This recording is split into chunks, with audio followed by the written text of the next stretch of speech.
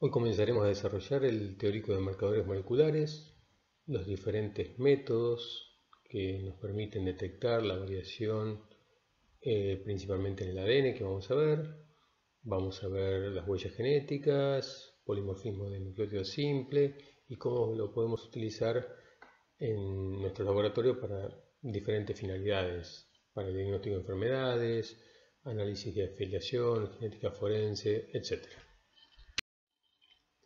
La primera aproximación que tenemos a la variación genética existente en las poblaciones es el polimorfismo fenotípico, que es muy grande, por lo general en, especies tan extendidas como la especie humana, pero en general cuando queremos hacer análisis fino de la estructura genética de muchos caracteres resulta insuficiente. ¿Por qué usaríamos marcadores moleculares? Por un cálculo sencillo eh, que nos va a llevar a la idea de que no hay dos, eh, dos humanos con un mismo genotipo excepto los gemelos. Si tomáramos solamente la fracción génica de los genomas, que recuerdan que era una pequeña fracción de todo el ADN existente en los genomas, y consideramos un número conservativo de genes unos 30.000, y si solo consideráramos el 1% de ellos polimórficos, es decir, unos 300, y si cada uno tuviera dos alelos, y entre esos dos alelos formaran tres genotipos, tendríamos un total de 3 a la 300 o al 300 genotipos. Si, consideramos, si analizamos qué significa este 3 a la 300 en la población humana, podríamos hacer esta estimación. el número presente de, individuos en la población humana está estimada en un poco más de 6 por 10 a la 9 y desde siempre se calcula que ha sido de unos 13 por 10 a la 9. Por lo tanto, eh, si comparamos este número 13 por 10 a la 9 con 3 a la 300, vemos claramente que todavía tenemos mucho para crecer para que aparezcan por probabilidad dos eh, genotipos eh, idénticos en la población. Los únicos casos que, salen de esta regla son los eh, individuos gemelos univitalinos. Ahora, además de saber que no existen dos genotipos idénticos en la población humana, ¿por qué otras características usaríamos marcadores moleculares? Y en principio porque son universales, están basados sobre los ácidos nucleicos y los ácidos nucleicos sabemos que están presentes en todos los organismos vivos, son heredables, son estables, son muy poco influenciables por el ambiente o nada, tienen variabilidad casi ilimitada dependiendo de la región que analicemos, se pueden distinguir entre homologías y analogías, es decir, las similitudes que se han dado por convergencia evolutiva y las que se dan por herencia con respecto a un progenitor ancestral y proveen una herramienta fantástica para el análisis genómico. Algunas son un poco más útiles que otras, pero todas sirven para este análisis. Ahondando un poco en la característica universal de los marcadores, esta consideración viene de la concepción de que todas las formas de vida contienen ácidos nucleicos, DNA o RNA, y que todas habrían surgido de un origen común, es decir, de una misma molécula de ácido nucleico que luego se fue diversificando y dando origen a distintos organismos. Por lo tanto, nos provee una herramienta fascinante para hacer comparaciones en, formas de vida que son muy diferentes en morfología, fisiología, ecología y aún en sistemas reproductivos, pero tienen en común eh, el material genético que nos permite comparar aún muy distantes. Haciendo un poquito de historia, vamos a ver que los primeros polimorfismos moleculares analizados estuvieron asociados a la variación proteica, eh, que trabajaban con las proteínas totales de un tejido en particular y comparaban el mismo tejido entre diferentes organismos o diferentes tejidos en un mismo organismo, o eh, aquellas, eh, aquellos análisis que consideraron las las isoenzimas y los alelos que estaban presentes en estas enzimas en los diferentes organismos de una población o entre poblaciones o entre especies. Y luego sí eh, viene la variación en las secuencias de ADN que llega algunas décadas después. Aquí tenemos la ilustración del análisis de polimorfismo proteico en el gel que está teñido en, azul más, brillante y con bandas más nítidas. Es un gel teñido con Comasi que digamos se utiliza para comparar proteínas totales en un tejido en particular. Y lo, el gel que tenemos abajo es un, gel revelado eh, con algún sustrato en particular para una determinada isoenzima y que nos muestra la variación alélica que pueden tener estas, estas proteínas. Lógicamente eh, necesitamos un aislamiento de proteínas y una separación por electroforesis en geles construidos con diferentes medios, agarosa, almidón, mm, poliaclilamida. Ahora podríamos preguntar cuán variables son las proteínas, ¿Cuán, cuál es la proporción de proteínas que son polimórficas con respecto a las que no. Eh, en principio mm, hay algunos números estimativos, aunque pueden ser muy variables dependiendo del grupo, pero en mamíferos se habla que existe el 15% de las proteínas serían polimórficas, en aves el 22%, en plantas un 25% y en insectos se ha llegado a proponer que hasta un 33% de las proteínas presentarían algún grado de polimorfismo. Hablamos de polimorfismo cuando el alelo mm, más común es menor al 99 o al 95% o al revés, que el más raro no presenta una frecuencia menor al 5% o al 1% dependiendo del criterio con que esté trabajando. Haciendo un análisis em, de conveniencia del uso de marcadores mm, proteicos, vemos que tiene una serie de ventajas, entre ellas que son marcadores cuyo revelado es muy económico y además son marcadores codominantes, quiere decir que se pueden apreciar en un gel los dos alelos presentes en una heterocigota. Pero a su vez presentan también una serie de desventajas y la principal es que solo revela pequeñas proporciones de la variación presente en el ADN, es decir, que estamos revelando solamente una pequeña porción de la variación genética. Y esto se da porque mucha de la variación que está en el ADN no resulta en cambios en la secuencia de aminoácidos, es decir, que las sustituciones son sinónimas. Y además, algunos cambios en la secuencia de aminoácidos no resultan en cambios eh, que determinen una movilidad electroforética de la proteína diferencial y por lo tanto no la detecto eh, en los genes. En contraposición con la relativamente baja variabilidad presente en las proteínas, la variabilidad a nivel de ADN es prácticamente ilimitada. El problema que tenemos cuando trabajamos con ADN es encontrar el, marcador apropiado que revele la cantidad de variación que necesito para un problema determinado y luego desarrollar los marcadores en un método que sea aplicable eh, de acuerdo a las condiciones de los laboratorios que tenga. Ahora bien, ¿cuáles serían las etapas básicas para analizar la variabilidad existente en el ADN en un organismo determinado o en una colección de organismos? Lo primero es la selección de la secuencia de ADN para ser analizada y eso va a depender del grado de variación que necesite. Si estoy trabajando con poblaciones más emparentadas, voy a necesitar marcadores que revelen más polimorfismo. Y si estoy trabajando con individuos o poblaciones más distantes, el número de variaciones que voy a necesitar van a ser menos, porque si la secuencia tiene una alta tasa de mutación, las retromutaciones me podrían borrar las variaciones que me introduce la mutación.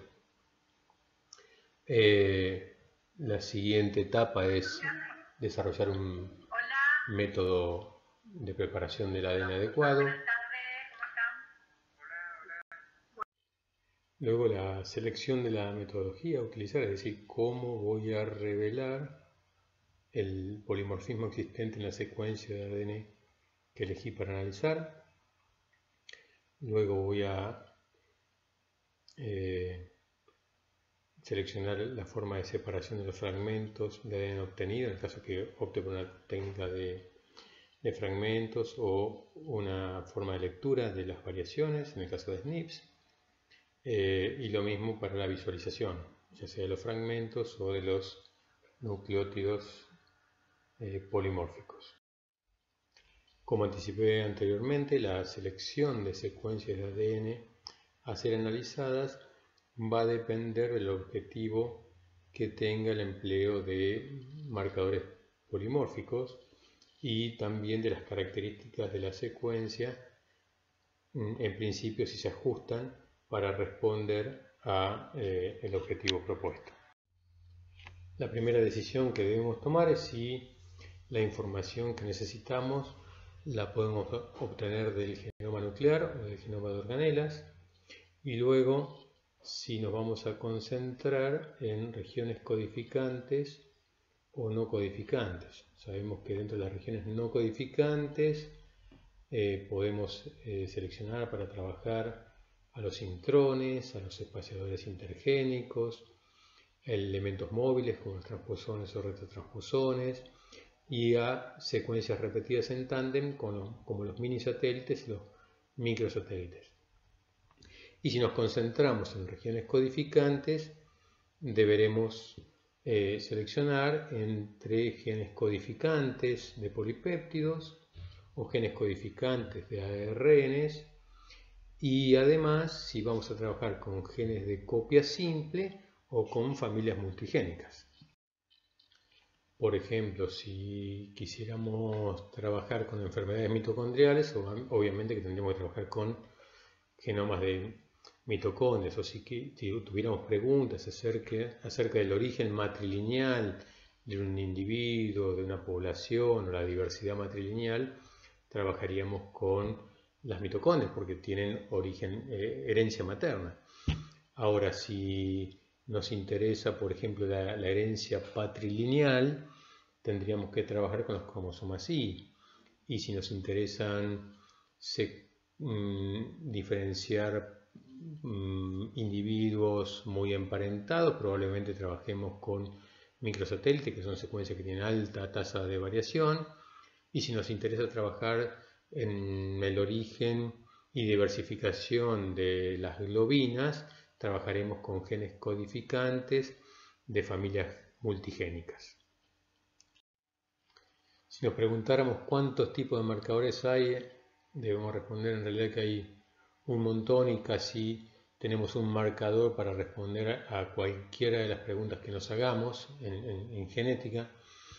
Eh, la, diversidad de marcadores aumentó exponencialmente a partir del desarrollo de la PCR como un método eh, fácil de desarrollar en los laboratorios. Cada técnica se desarrolló para abordar problemas específicos y luego se fueron transfiriendo a otras, a otras aplicaciones. Y lo que tenemos que saber es que ninguno de los, de los marcadores sirve para abordar todos los problemas y es por eso que es clave poder elegir eh, al marcador adecuado para eh, atender al objetivo propuesto en nuestra investigación o en nuestro diagnóstico. Todos los marcadores en general se, mm, hablan o se dicen por los acrónimos, por ejemplo los BNTRs significan número variable de repeticiones en tándem, todos los acrónimos vienen del, inglés, el RFLP significa polimorfismo en la longitud de fragmento de restricción y así sucesivamente. En esta gráfica un poco se representa la, explosión del uso de eh, marcadores moleculares en publicaciones científicas a partir de la mitad de la década del 80, en donde la PCR se desarrolla y se masifica en todos los laboratorios. Fíjense que eh, el número de trabajos registrados con marcadores moleculares para el año 2000 es de 1600 y hoy deben dar en, cientos de miles. Entonces, para referirnos a los marcadores moleculares y poner un poco de orden, vamos a hacer hincapié en un poco en la forma en que se desarrollan. Y vamos a ver primero los basados en digestión con enzima de restricción. Y aquí vamos a ver los RFLP, que significan polimorfismo en la longitud de fragmento de restricción. Luego vamos a ver los basados exclusivamente en PCR. Y ahí vamos a ver los RAPIDS, que viene de polimorfismo de ADN amplificado al azar. Luego vamos a ver los que están basados en digestión con enzima de restricción y amplificación por PCR. Y aquí vamos a ver los AFLP, que eh, la denominación del acrónimo viene de em, polimorfismo en la longitud de fragmentos amplificados. Y vamos a ver una, versión que usa las técnicas en forma inversa, que es PCR-RFLP. Primero hacemos la amplificación y luego una digestión con enzima de restricción. Luego vamos a ver algunos sistemas que pueden ser desarrollados tanto con enzima de restricción o con PCR. Ahí vamos a ver los, los BNTR o números variables de repeticiones en tándem que involucra a las secuencias mini y microsatélites. Y luego a los marcadores de nucleótido simple, los SNPs, que vienen de polimorfismo de nucleótido simple, que están basados en hibridación. Vamos a comenzar entonces por los marcadores derivados de la identificación de sitios de restricción. El principio de esta metodología se basa en la detección de sitios en donde sitios en el ADN en donde se ha cambiado algún nucleótido en un sitio de restricción, de tal forma que ese cambio en un nucleótido impide que una enzima de restricción produzca un corte en la molécula de ADN. Aquí tenemos un ejemplo de dos moléculas de ADN, 1 y 2, y los sitios de restricción para la enzima EcoR1, en donde en el DNA2 en el sitio central se introdujo una mutación, se cambió un par AT por un par CG y esto impide que la enzima EcoR1 corte en ese sitio. Por lo tanto, luego de realizar la digestión con EcoR1, si uno corriera el ADN en una calle y el ADN2 en otra calle de un gel, lo que veríamos serían dos fragmentos de 4 y 5 kilobases en la calle del ADN1 y un fragmento de 9 kilobases porque no cortó en el sitio de restricción central en la calle correspondiente al eh, ADN2. Para desarrollar los RFLP normalmente se hace uso de las enzimas de restricción de corte frecuente y las de corte menos frecuente, eh, aquellas que en su sitio de corte involucran cuatro nucleótidos o seis nucleótidos respectivamente, y también dependemos del desarrollo de una sonda, aquí indicada como PROBE, que nos permite detectar a todos los fragmentos que se producen de la restricción o a alguno de ellos. Una vez realizada la digestión, luego el procedimiento para, el revelado, para la separación y el revelado de los fragmentos sigue a la técnica de Southern. Básicamente separamos los fragmentos de ADN por electroforesis, luego hacemos una transferencia a una membrana de intracelulosa, eh, crosslinkeamos los fragmentos en esta membrana, eh, a esta membrana con los fragmentos separados la hibridamos con una sonda específica que detecta el fragmento o los fragmentos de interés. Eh, luego esa membrana es lavada y revelada por alguna de las técnicas eh, que tenga a disposición. Reactividad se hacía en la antigüedad y hoy se usa inmunodetección. Y una vez que tengo la, la plataforma de, revelado, eh, hago el análisis de em, los sitios de restricción que han sido eh, utilizados por la enzima en cada una de las muestras. Esta técnica de RFLP es una técnica que revela los dos alelos presentes en los genomas, los diploides, por lo tanto se dice que es codominante y eh, puede ser utilizada para investigar parentesco, filiación, entre otros usos como vamos a ir viendo. En este caso eh, tenemos el, caso que hay que identificar al progenitor del hijo que ha tenido la, madre eh, Dan Scully. Y tenemos en la línea 10 al bebé, en la 9 a la madre y vemos que tenemos una banda, la superior, que es compartida entre el bebé y la madre. Lo que nos queda identificar es con quién comparte la banda inferior, que correspondería al alelo que ha recibido del, del padre para ese locus. Y sin duda que el individuo de la calle 8 es el que tiene la banda que corresponde a la que tiene el bebé, por lo tanto sería el eh, padre de, de este bebé. Lógicamente que estos análisis están muy condicionados por la frecuencia que tenga este alelo en la población. Si el alelo del padre es muy frecuente en la población, entonces este marcador eh, se vuelve menos, eh, menos eficiente para determinar quién es el padre, porque podría, así como está el individuo 8, podría haber otros cuantos en la población. Ahora, si el alelo es raro en la población, eh, entonces sí, este, esta identificación de alelos eh, cobra más, más fuerza para tomar una decisión judicial o la que fuere. Esta técnica también nos sirve para el diagnóstico de enfermedades específicas, por ejemplo, la anemia falciforme, que está determinada por una mutación en el primer exón del gen de la beta-globina, en donde una A es reemplazada por una T y eso me induce un cambio de glutamina por valina.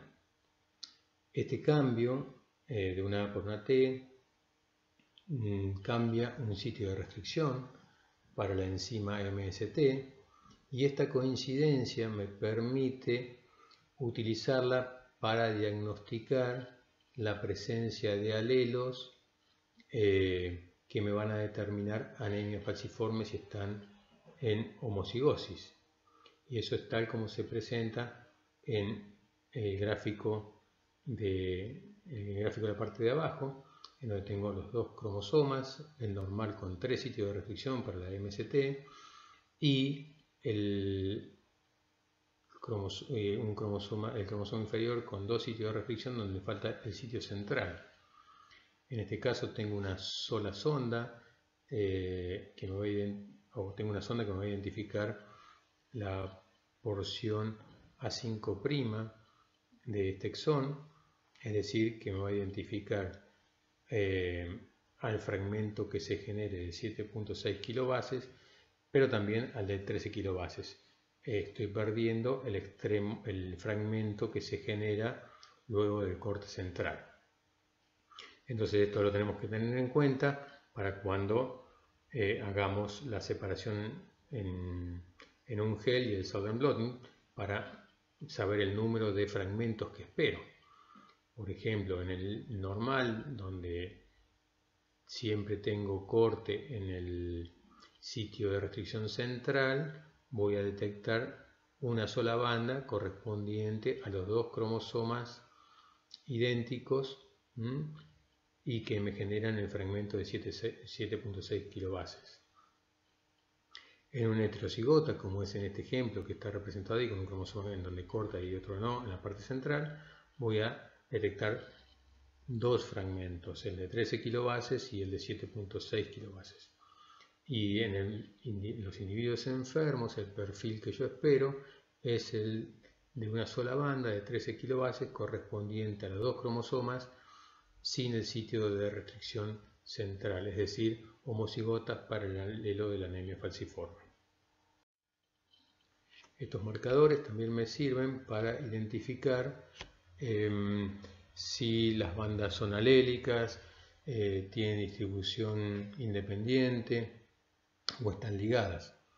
Por ejemplo, F y H siempre eh, se heredan juntas, por lo tanto esto me hace pensar de que serían marcadores que están ligados, están en la madre y están en la descendencia en los individuos 2, 4 y 5, pero no están en el padre ni en el individuo 1 ni 2.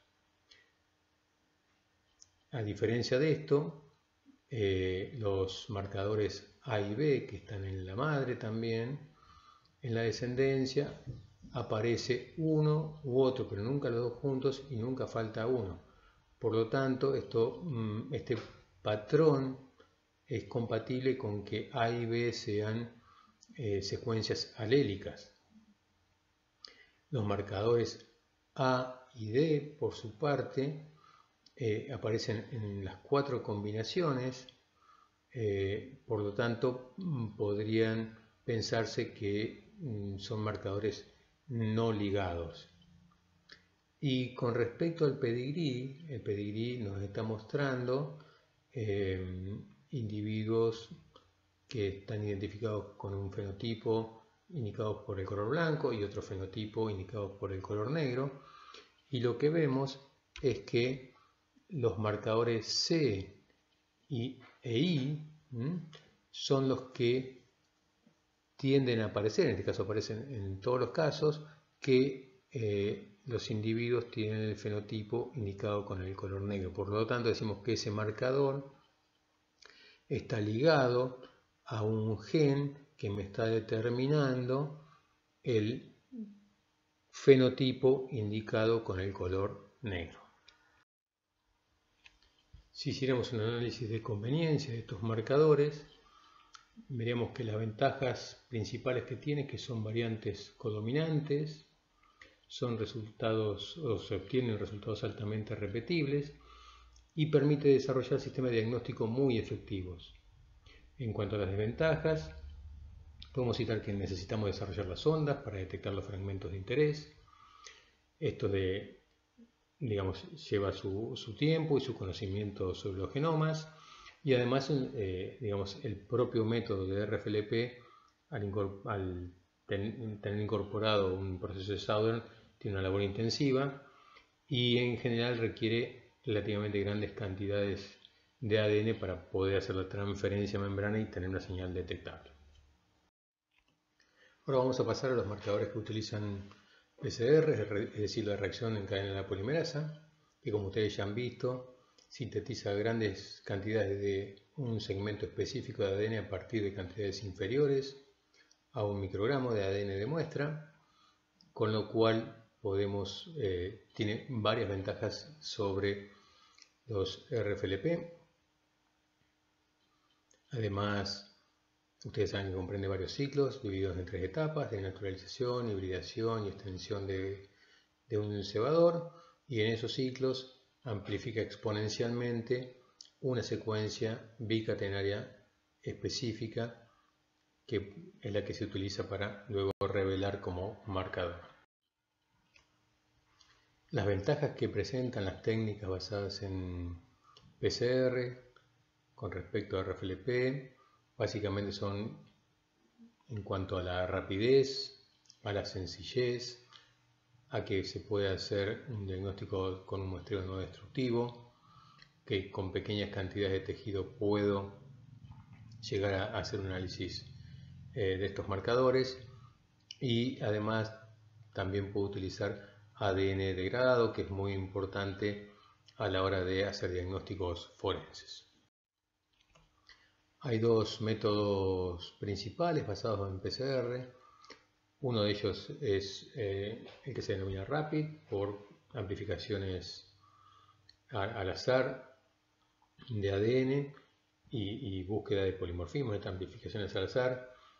Eh, un poco a, contramano de lo que dijimos que la PCR amplifica secuencias específicas. Aquí la vamos a utilizar para amplificar secuencias eh, que no conocemos eh, y, la, amplificación al azar va a estar dada por la utilización de un primer relativamente corto. Y también vamos a ver o vamos a utilizar la PCR para detectar eh, números variables de repeticiones en tándem asociados a las secuencias mini satélites y microsatélites. Vamos a comenzar por los rapids cuyo principio es básicamente la amplificación al azar de fragmentos de, genoma. Para esta amplificación al azar utilizamos primers cortitos, a diferencia de lo que usamos para amplificar secuencias específicas de unos 20 nucleótidos, aquí usamos primers de 10 nucleótidos. Generalmente se usan mm, reacciones con un solo primer. Eh, la idea es que estos primers se unan a diferentes partes del genoma y aquellos que se unan en posiciones convergentes y estén a distancias cortas, usualmente menores a mil nucleótidos, amplificarán en la reacción de PCR. Luego que se obtienen los amplicones, se realiza la electroforesis para separarlos y se detectan usualmente con bromuro de tilio o algún, otra, eh, algún otro colorante de ADN.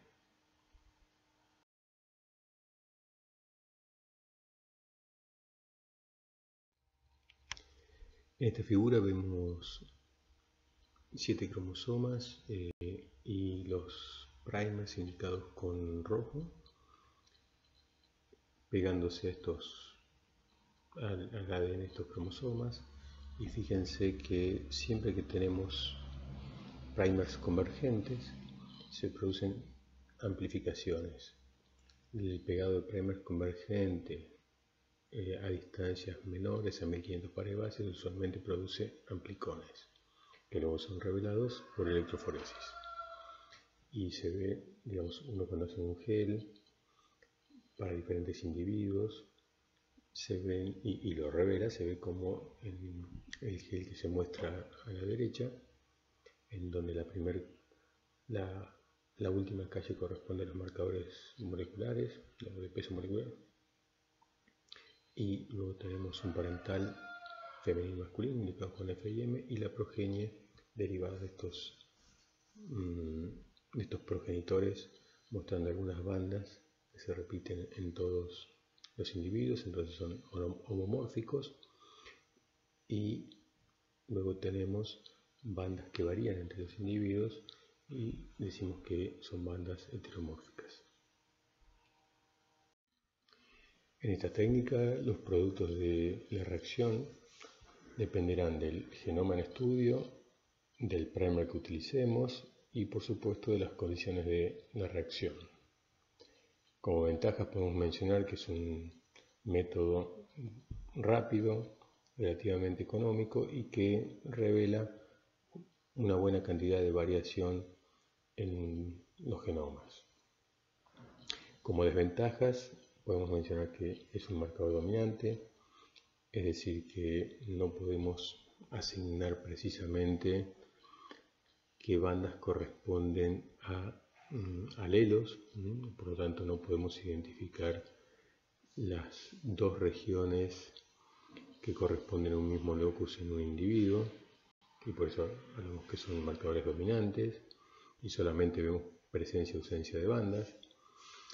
Y hay algo que se le ha asignado que es la baja repetibilidad y que es verdad debido a que depende mucho de las condiciones de reacción, pero esto se puede subsanar utilizando em, controles que nos permitan evaluar las condiciones de reacción en cada laboratorio y en cada equipo.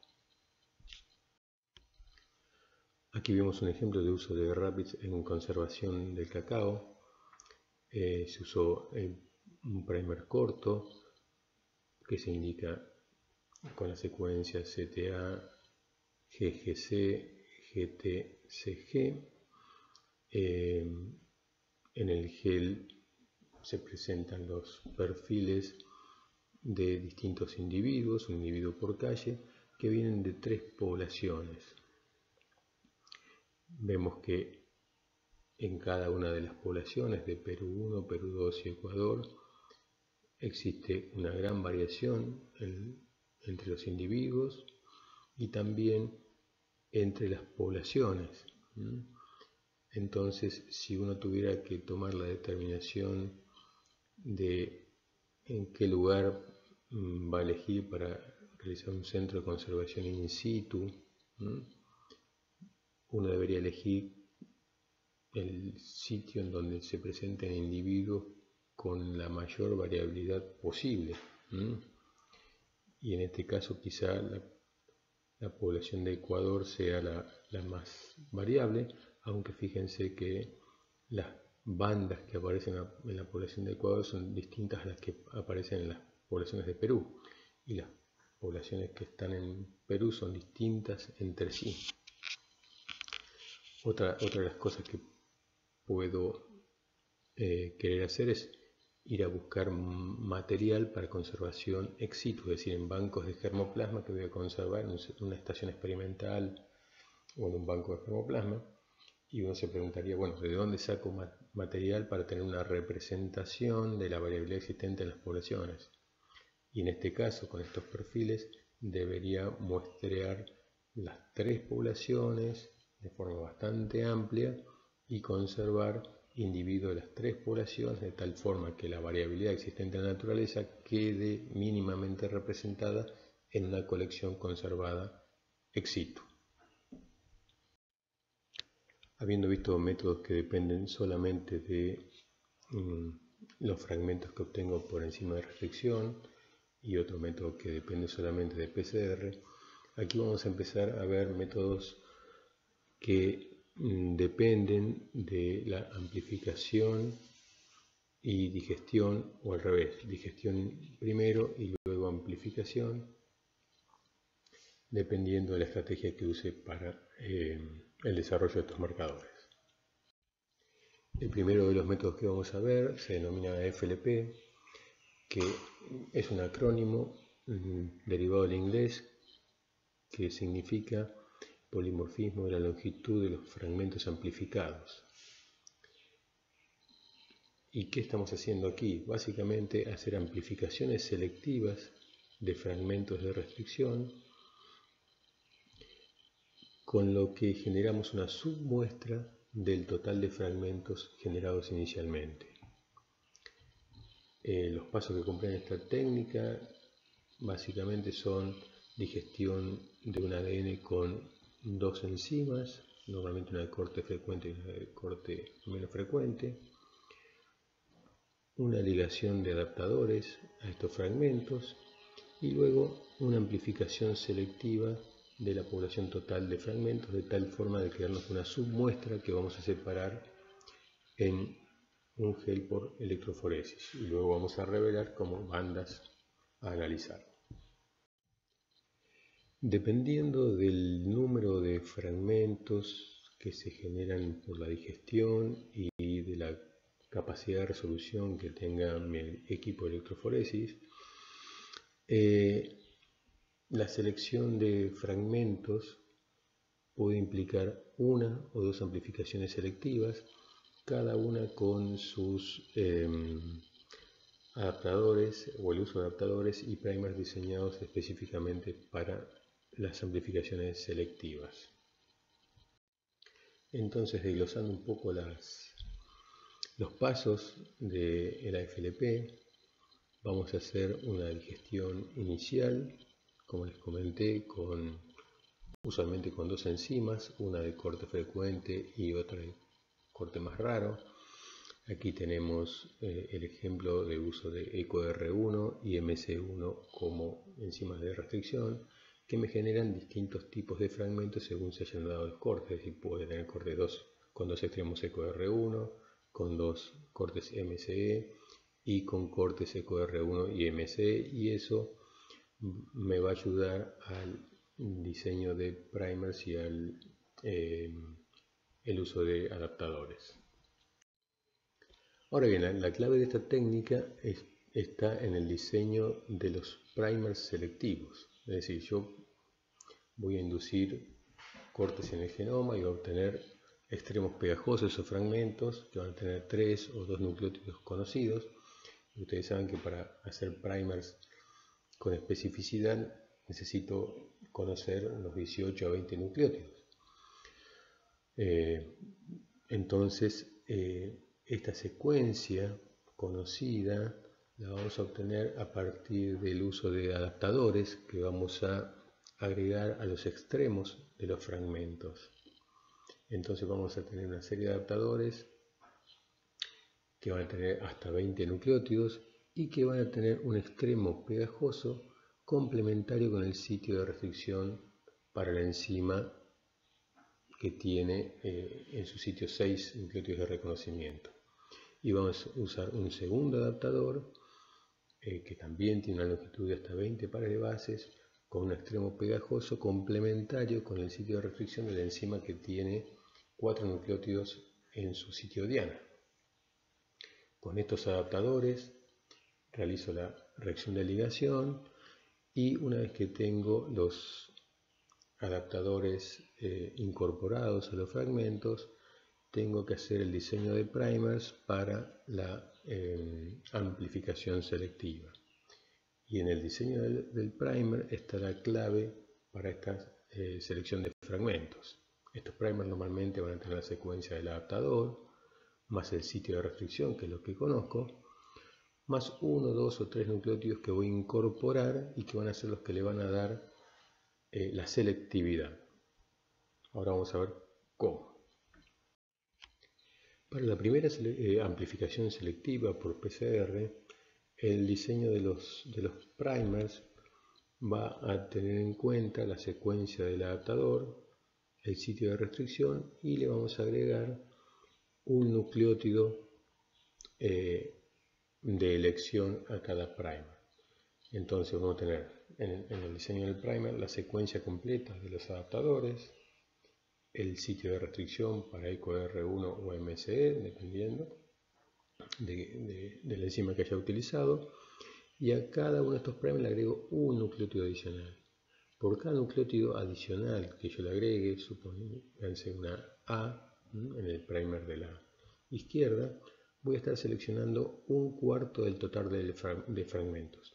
Si utilizo el mismo principio para el primer de la derecha, agregándole una C, entonces voy a tener un cuarto por un cuarto, 1 en 16 de selectividad. Quiere decir que voy a estar amplificando un fragmento cada 16 fragmentos que se hayan generado, asumiendo que la distribución de los nucleótidos en la última posición del primer eh, es al azar.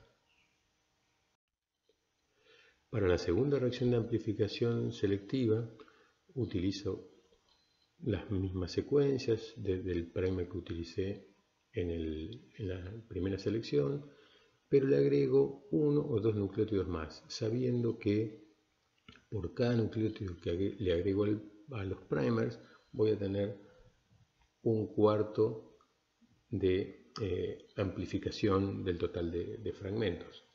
¿Y de qué va a depender si le agrego uno o dos nucleótidos? Básicamente del número de fragmentos que esté amplificando. Cuanto más fragmentos amplifique, más difícil va a ser de resolverlo en el gel. Por lo tanto, es una cuestión empírica el, agregado de nucleótidos eh, en los primers, pero normalmente se dice que después de la primera reacción de amplificación agregando un nucleótido, en la segunda con uno más o dos más tengo una buena resolución en el gel luego la segunda eh, amplificación selectiva. En esta imagen se ve una cuba con un gel de poliacrilamida vertical que se está utilizando para eh, separar los fragmentos de FLP obtenidos luego de la segunda reacción de amplificación selectiva. Y luego a la derecha está un gel revelado con nitrato de plata, en donde se pueden observar las distintas bandas obtenidas en distintos individuos, en donde como habíamos visto en, Rapid tengo eh, muchas bandas que son monomórficas, es decir, que aparecen de igual forma en todos los individuos, y otras bandas que son polimórficas y que me aparecen en algunos individuos y en otros no. Aquí tenemos un detalle de otro gel donde tenemos muchas bandas monomórficas, sobre todo en, el grupo de bandas que están entre los dos rectángulos indicados con color rojo. Y dentro de los rectángulos con color rojo vemos bandas polimórficas, quiere decir que aparecen en algunos individuos y en otros no. Haciendo un análisis de conveniencia, podemos decir que los AFLP presentan algunas ventajas, por ejemplo que es un método relativamente rápido con respecto al RFLP, pero bastante más lento que el RAPID, es relativamente económico y genera una, mm, digamos, revela bastante bien la variación existente en el genoma total. La desventaja que tienen los AFLP es la misma que la de los RAPIDs, que como dependen de amplificaciones son marcadores eh, dominantes, básicamente son amplificaciones al azar. Eh, actualmente, digamos, los RAPIDs y los AFLP y más que nada los AFLP, porque los rápidos han perdido un poco de vigencia, se utilizan para estudiar la variabilidad en las poblaciones y también son usados para mapeos de QTL porque tienen una buena cobertura genómica, revelan una buena variación entre los individuos eh, emparentados que se generan a partir de cruzamientos dirigidos para estudiar estos caracteres cuantitativos y permiten hacer asociaciones entre regiones genómicas particulares y los caracteres fenotípicos. Por otro lado, el uso de los, de los RFLP eh, ha quedado bastante restringido y principalmente destinado para localizar secuencias específicas en métodos de diagnóstico o experimentales particulares. Otro método combinado entre digestión con enzima de restricción y PCR es lo que el método que denominamos PCR-RFLP. Este método es básicamente inverso al que hemos visto en la FLP.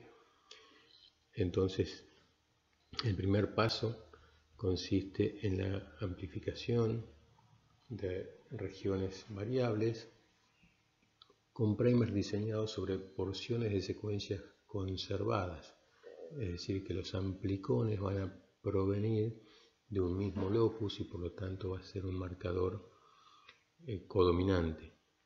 Y luego estas regiones son digeridas con enzima de restricción sobre esos sitios variables para revelar la variabilidad existente en, en, las poblaciones de acuerdo a los genotipos que presenta cada individuo. Las ventajas este sistema es que es muy económico y es que es eh, muy informativo para distintas em, aplicaciones.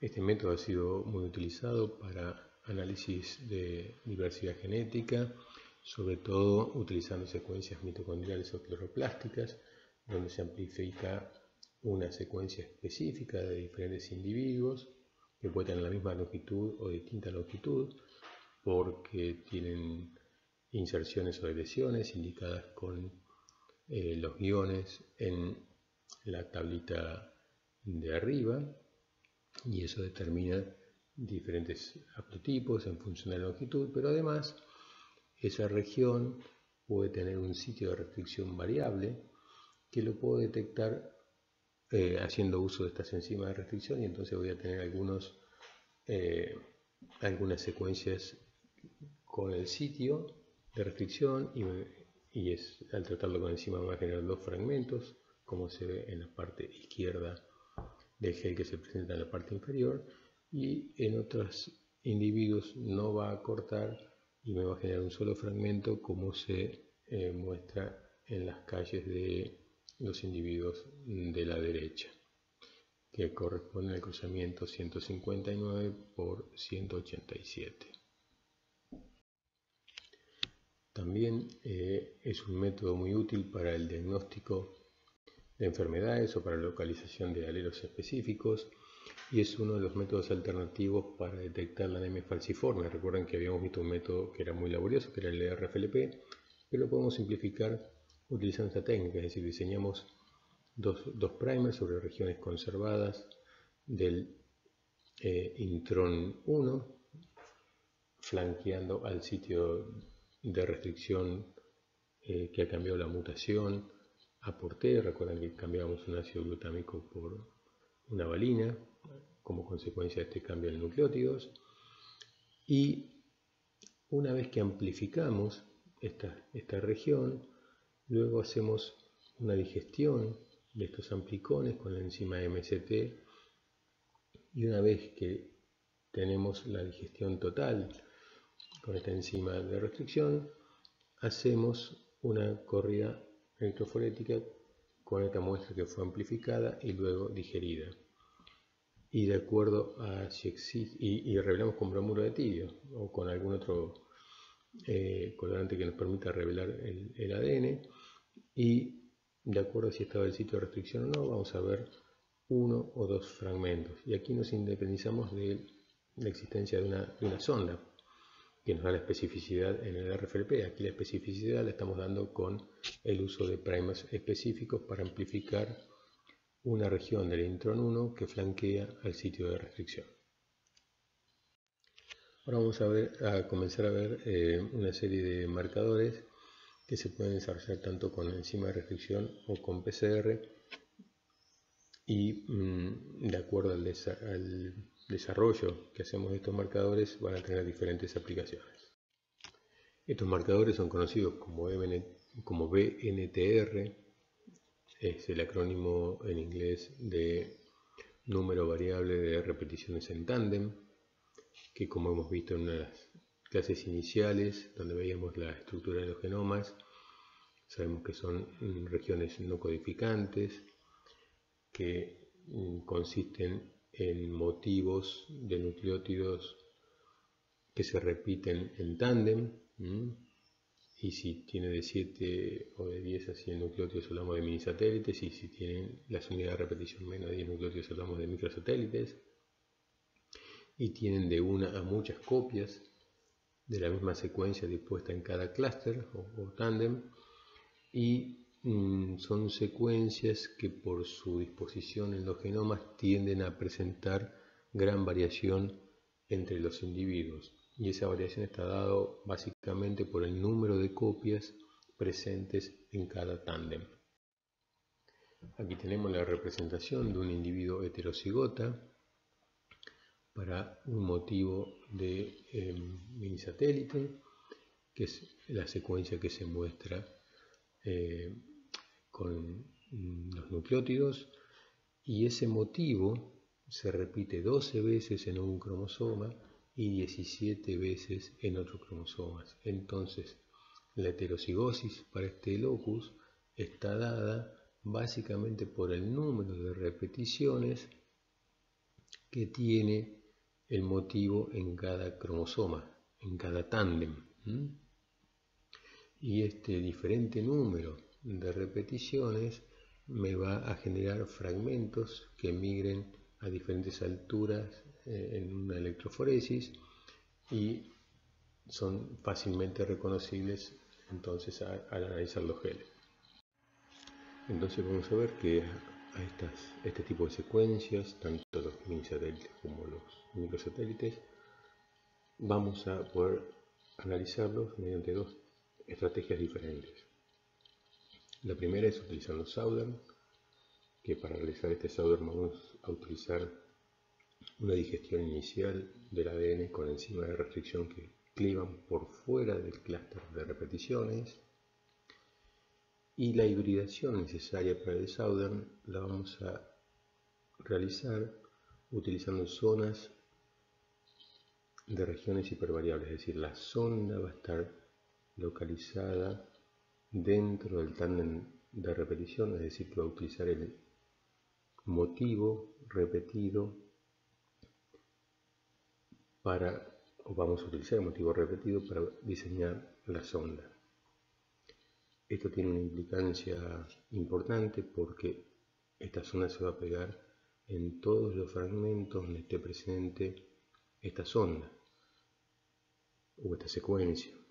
Por lo tanto, eh, este método resulta multilocus y no voy a poder asignar mm, bandas a alelos y por lo tanto se transforma en un marcador dominante.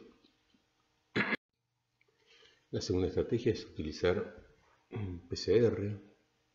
Eh, esta PCR se realiza con primers diseñados sobre las zonas flanqueantes, es decir, también por fuera del tándem mm, del motivo repetido, es decir, que vamos a amplificar eh, el tándem completo. Y estos primers a su vez van a estar diseñados sobre secuencias conservadas a cada lado de este tándem y a distancias eh, que sean iguales para todos los individuos. Por lo tanto, la, variación que voy a revelar va a ser la que existe en el número de repeticiones del motivo. Los fragmentos que se generan entonces, al analizarlos por eh, electroforesis, son fragmentos que van a venir de un solo locus y por lo tanto van a ser alélicos. Por lo general estos, estos fragmentos se analizan en un gel tenido con bromuro de tirio o con cualquier otra tinción de ADN. En estas imágenes se observan mini satélites revelados por Southern. En la figura que está a la izquierda eh, tenemos un Southern para mini satélites que aparece como multilocus y en este caso se compara una muestra de sangre encontrada o tomada de algún individuo, problema, que es la que está enmarcada en un recuadro azul y luego tenemos siete potenciales individuos eh, a los cuales correspondería esa muestra de sangre. Se extrae muestra de sangre, supónganse de, esas, de esos individuos, se les extrae el ADN, se hace el mismo análisis de mini por Southern y se compara cada uno de los perfiles individuales y lo que vemos es que el individuo que está en la calle 3 comparte el perfil completo con la muestra problema.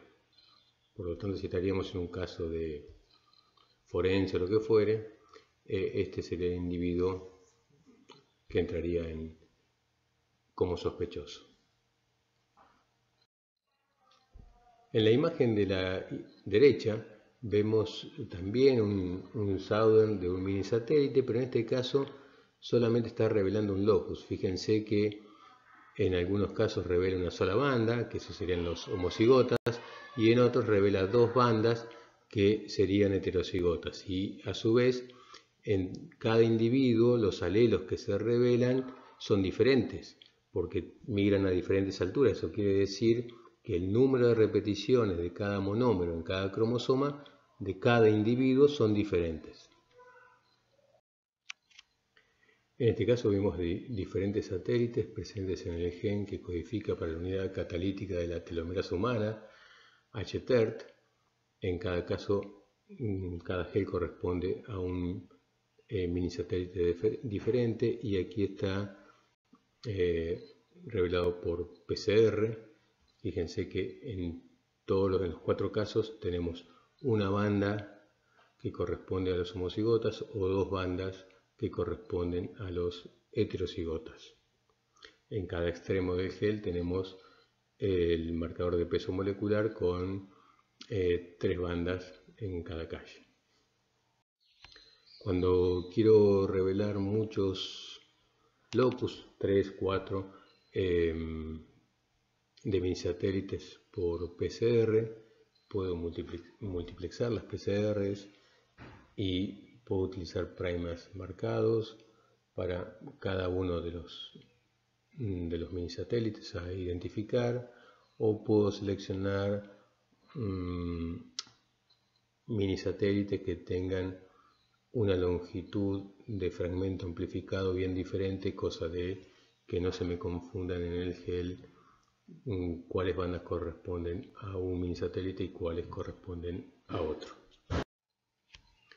Los mini satélites en humano en algún momento fueron bastante utilizados, sin embargo con el tiempo se nos fuimos dando cuenta que estos mini satélites no están distribuidos al azar en todo el genoma, sino que tienen una preferencia de localización en las regiones subteloméricas y esto dificulta un poco utilizarlos como marcadores para identificar genes o para construir mapas. Eh, por lo tanto, mm, un poco se dejaron de usar en la medida en que se pudieron empezar a replicar los microsatélites. Eh, algunos de estos tándem, además de mini satélites, pueden superar los 2 kilobases, por lo que se hace más dificultoso amplificarlos por PCR y entonces tenemos que optar sí o sí por la técnica de Saudan y esto vuelve eh, al digamos, a la identificación de estos mini satélites bastante más laborioso y difícil de aplicar en cualquier laboratorio eh, estándar de diagnóstico. Como alternativa a los mini satélites aparecen los microsatélites o SSR de repeticiones de secuencias simples, que son repeticiones en tándem de 2, 3, 4 o hasta 10 nucleótidos. En general, estos motivos están repetidos desde unas pocas a 100 copias. Son muy variables en número, es decir, el número de repeticiones que hay por eh, tándem. Y se presentan o, se han descubierto muchos microsatélites, miles, eh, y que están distribuidos uniformemente en el genoma, tanto en la eucromatina como en la heterocromatina, volviéndolos marcadores casi ideales. En esta imagen vemos ilustrado uno de los microsatélites más comunes en, humanos, el dinucleótido citosina-adenina, que se encuentra repetido en, en tándem 8 veces y que me genera un clúster de 16 pares de bases y que lo revelo por PCR con cebadores que están diseñados a 50 pares de bases de este motivo. Por lo tanto, el amplicón va a estar integrado por la distancia entre el primer que está a 5' y el primer que está a 3' del tándem más la distancia del tándem. Obviamente que la región que quiero detectar como variable es la, el número de repeticiones del dinucleótido. Por lo tanto, las secuencias que existen entre el tándem y los primers debería ser constante. Entonces lo que observo en el gel de la parte inferior corresponde exclusivamente a la variación en el número de repeticiones eh, presentes en el, en el tándem de ese dinucleótido. Y como ustedes pueden ver en los individuos 1, 2 y 3 se han revelado dos bandas cada una correspondiente a un cromosoma y por lo tanto este individuo es heterocigoto para el número de repeticiones del dinucleótido presente en cada tándem, mientras que el individuo 4 tiene exactamente el mismo número de repeticiones del nucleótido en el cromosoma que vino de la mamá y en el cromosoma que vino del papá, por lo tanto es homocigota para el número de repeticiones de este microsatélite. En esta imagen tenemos graficados tres alelos para el nucleótido CA con primers diseñados a 40 pares de bases del tándem, tanto a 5' como a 3' del tándem, lo que me genera un fragmento o, digamos un amplicón uniforme para todos de 80 pares de bases correspondiente a las zonas flanqueantes. Y luego tenemos la distancia del amplicón que corresponde al tándem de repeticiones del dinucleótidos que es variable en los tres alelos y eso me genera diferentes longitudes de los amplicones. Por ejemplo, en el alelo 1 tengo 32 pares que corresponden al tándem CA, porque tengo 16 repeticiones y lo indico con CA entre paréntesis y subíndice 16. En el alelo 2 tengo 14 repeticiones que me generan una, un amplicón o, me implican una, una secuencia amplificada de 28 pares de bases, además de los 80 correspondientes a las secuencias flanqueantes, lo que me da 108 pares de bases como amplicón total. Y lo, lo indico como alelo 2, igual entre paréntesis a CA subíndice 14 y lo mismo para el alelo 3 que tiene 11 repeticiones es decir que el tándem aporta 22 pares eh, de bases al, a los 80 que corresponde a las regiones flanqueantes que me genera un amplicón con una longitud total de 102 pares de bases.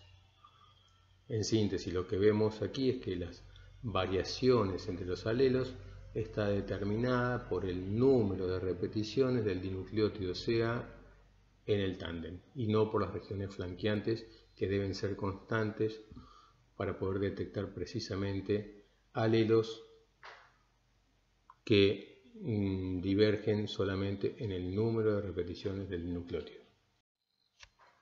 Este gráfico se muestra eh, un esquema de cómo sería un, gel con un microsatélite AT y cómo indicaríamos para cada individuo eh, los alelos presentes.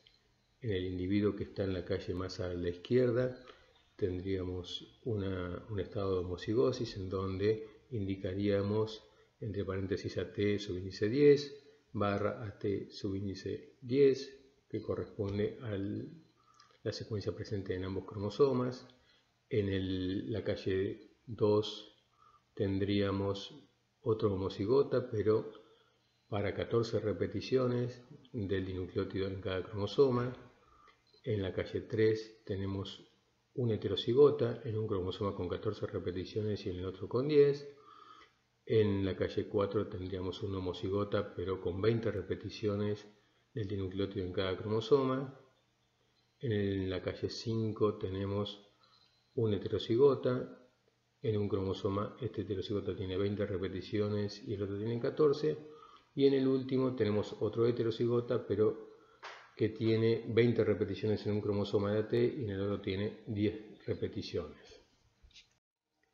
Los microsatélites son muy usados para estudios intrapoblacionales, aún en aquellas que tienen un alto nivel de parentesco, por lo tanto son muy utilizados en estudios de paternidad y forenses, pero no son muy recomendables para estudios de linajes distantes porque estos marcadores evolucionan muy rápido, entonces eh, los cambios que se producen por mutación son rápidamente borrados por retromutación perdiendo las señales filogenéticas. Los microsatélites como marcadores presentan unas cuantas ventajas, entre ellas que son altamente variables, distribuidos por todo el genoma, ya sea en cromatina como en heterocromatina, presentan una evolución rápida y con esto nos permiten eh, analizar poblaciones aún muy emparentadas. Cuando los diseño por, mm, o los identifico por PCR son marcadores codominantes, por lo tanto puedo identificar los alelos correspondientes a cada locus la única desventaja que existe con estos microsatélites es eh, su desarrollo, pero hoy con mm, la información que tenemos de los genomas, eh, cada vez para más especies, se simplifica bastante la, tarea. En esta imagen se muestra mm, cómo un microsatélite puede utilizarse para asociarlo o asociar una región genómica a la manifestación de un fenotipo en particular. Eh, arriba tenemos el esquema de cómo estaría compuesto los microsatélites en los diferentes cromosomas, materno y paterno, y luego cómo esa, la descendencia de esa pareja presenta una u otra variante y en particular vemos que en uno de los alelos presentes en el padre está asociado a un fenotipo. ¿Qué quiere decir esto? Que cada vez que aparece el fenotipo, también aparece ese microsatélite. No quiere decir que ese microsatélite sea el gen que me está determinando el, el fenotipo, sino que está muy próximo al gen que lo determina. Por eso es un marcador asociado al gen que me determina el fenotipo en particular, en este caso el fenotipo negro. Entonces, un poco para resumir el tema de microsatélites, eh, nos podemos preguntar por qué se han convertido en los marcadores más utilizados eh, durante la década del, 2000 al 2010 y posiblemente el 2010 al 2020. Y básicamente porque son muy frecuentes, porque están distribuidos uniformemente en todo el genoma. Eh, se han construido mapas de ligamientos muy densos, con muchos marcadores por cromosoma, con lo que prácticamente nos permiten buscar genes asociados para cada una de las características fenotípicas que nos interesen y esto nos permite identificar precisamente la región cromosómica asociada a cada enfermedad y luego eh, hacer una búsqueda más fina de los genes que le están determinando. ¿Cuáles son los únicos problemas que presentan? En principio que no están basados en regiones codificantes, por lo tanto siempre lo que estamos analizando son regiones repetidas que evolucionan más o menos neutralmente. Y si eh, los usamos como marcadores de variabilidad genotípica, eh, lo que revelamos con microsatélites no es variabilidad biológicamente importante, sino que es variabilidad mm, neutral. Por eso eh, han sido un poco cuestionados como indicadores de variabilidad genotípica. El último marcador que vamos a ver corresponde a los polimorfismos por mutaciones puntuales, eh, cuyo acrónimo derivado del inglés es SNPs. Son muy frecuentes en el genoma, se estima que hay uno cada 300 pares de bases. Se han identificado entre unos 10 a 30 millones de SNPs en el genoma humano y a medida que vamos metiendo en el análisis más etnias y más eh, genomas son secuenciados, se identifican cada vez más eh, variaciones de nucleótido simple. En cada individuo, como somos diploides, tenemos solamente dos alternativas posibles. La herencia de estos SNPs es, muy estable, eh, presentan en general baja tasa de mutación. Eh, 10 a la menos 6 comparado contra 10 a la menos 3 de los microsatélites, por lo tanto nos sirven tanto para analizar individuos muy emparentados como no tanto. Eh, su aplicación es de fácil estandarización y se pueden revelar por secuenciación, por detección de oligonucleótidos específicos o ASO, por real-time PCR y actualmente por plataformas comerciales que pueden, analizar hasta 800.000 eh, polimorfismos de nucleo simple por ensayo. Eh, y por ende se han vuelto los marcadores mucho más eh, usados mm, que los microsatélites para la determinación de enfermedades, en farmacogenética, en medicina personalizada. Eh, y tienen la gran ventaja de que mm, están tanto identificados para las secuencias codificantes para las no codificantes.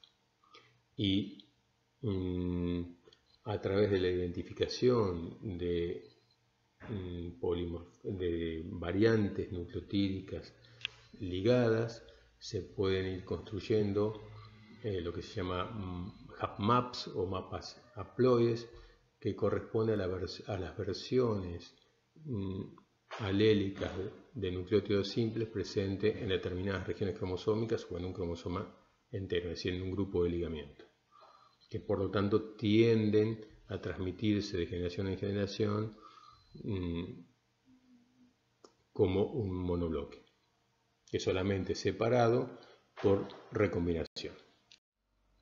En esta imagen se muestra el incremento exponencial que ha tenido el descubrimiento de variantes de nucleótido simple en los últimos 20 años, desde los primeros HapMap o, mapas de SNPs haploides, eh, pasando por el catálogo amplio de las variaciones genéticas con la secuenciación de mil genomas, hasta la secuenciación de eh, poblaciones provenientes de diversas etnias y lo que se muestra en particular en, el gráfico em, de la derecha y superior es básicamente la frecuencia de las variaciones menores al 5% que están llegando, que han pasado largamente los 50 millones.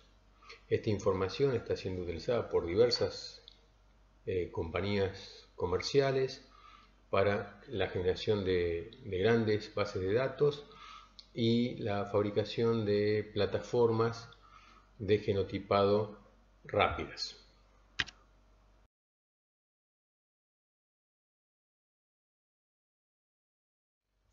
Actualmente hay plataformas comerciales que ofrecen procesar hasta 2.6 megas de SNPs en 24 muestras en una semana o menos, o también procesar 96 muestras con hasta 675 mm, mil SNPs a detectar por muestra.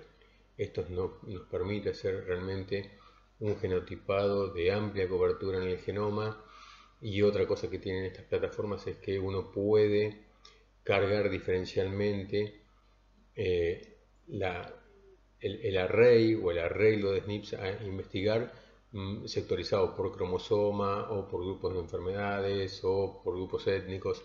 Así que eh, hoy tenemos a mano unas herramientas genómicas fantásticas para hacer genómica personalizada, gracias a este mega descubrimiento de, de SNPs.